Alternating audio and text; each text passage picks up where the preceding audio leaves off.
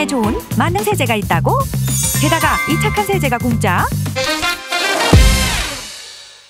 환경오염 걱정 없이 집안일을 똑똑하게 할 수 있는 만능 세제가 있는데요. 바로 EM입니다. EM이 뭔데요?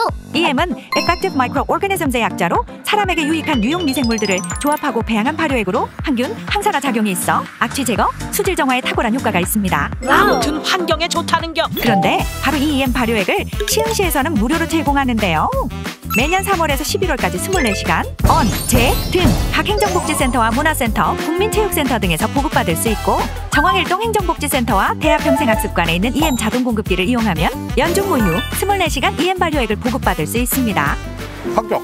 방법도 아주 간단한데요. 가지고 간 용기를 투입한 후 스크린 화면의 버튼만 누르면 EM 발효액이 콸콸콸. EM 발효액은 이곳저곳 사방팔방 다양하게 사용할 수 있는 만능 세제인데요. 변기, 타일, 세면대, 욕조에 EM 발효액을 뿌리고 15 minutes later.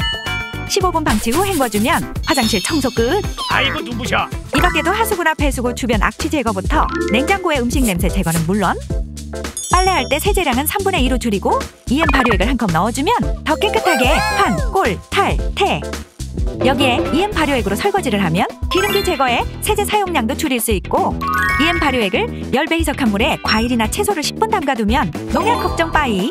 화초에도 EM 발효액을 사용할 수 있는데요.